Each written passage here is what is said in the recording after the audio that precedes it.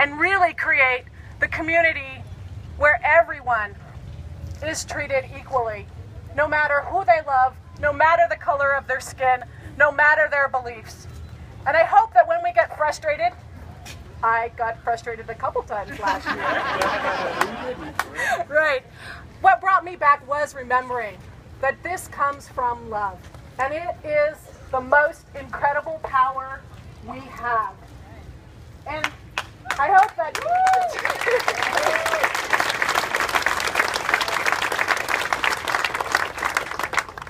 and so I hope that that's what we'll take with us every day. And when we meet hate, maybe our second response will be to come back to our hearts and come from our hearts.